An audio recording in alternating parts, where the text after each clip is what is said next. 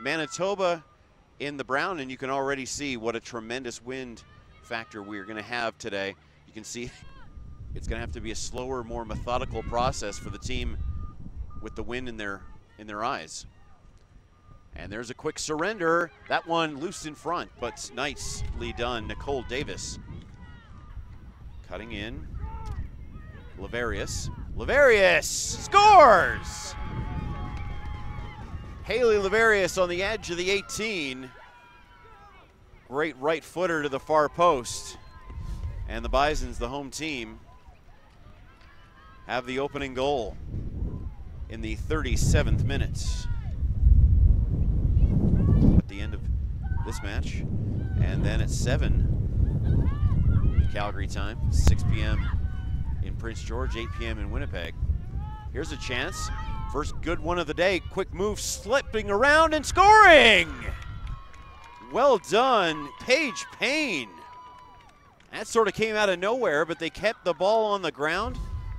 Payne made the pass she needed to make. Made the and then also made the move she needed to make, and got around Alexis Anderson, who's not been very busy at all today, and the game is tied. It's going to be held by one of the other players.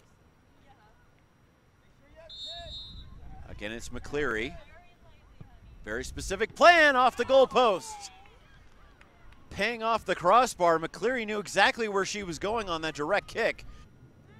And here's her chance. Wide open, Paige Payne got some time, and what an amazing stop. Well done, Alexis Anderson. Payne looking for the same kind of goal that, that Laverius got, but what a outstanding. Sy will send it through. Now it's Molby playing up. Quick shots in the nets. Nicole Davis. Some bad luck for Molby. And Davis puts it in the nets in the 70th minute. Surprised Molby isn't playing further up like uh, some of those MLS playoffs, but it doesn't matter because the Bisons have the win.